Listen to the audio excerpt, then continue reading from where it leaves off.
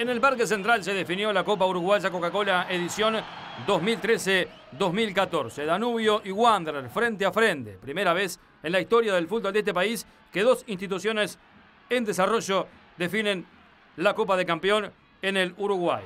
Un intenso partido. Un empate más definición por penales. Aquí está el comienzo de la gloria para Danubio. 24 minutos de la primera parte. Leandro Sosa es el que llega para poner el 1 a 0. Y Wanderers iba a encontrar en el segundo tiempo el gol de Diego Riolfo.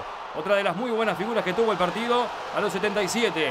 El empate para el equipo de Alfredo Varias. 1 a 1 estaban Danubio y Wanderers y nos íbamos a la definición por penales. Y en el alargue, Nicolás Albarracín hace esta gran jugada y gran definición de pierna izquierda combada contra el palo derecho de Ichazo y pone el 2 a 1 para el Montevideo Wanderers. Así lo vivía y así lo festejaba Alfredo Varias y Albarracín.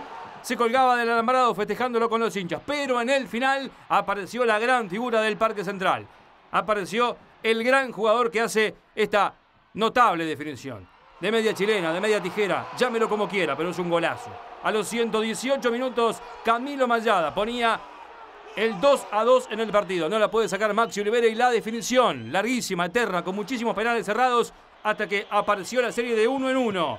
El que le pegó fue Cotuño. El gol y la mala fortuna para Nicolás Albarracín. Tapó Salvador Hichazo, que fue el gran salvador para Danubio, porque contuvo el penal decisivo y le dio al conjunto de Leonardo Ramos el cuarto título en su historia. Danubio salió campeón en 1988 en aquel partido frente a Progreso, jugando en Jardines con el gol del Policita da Silva.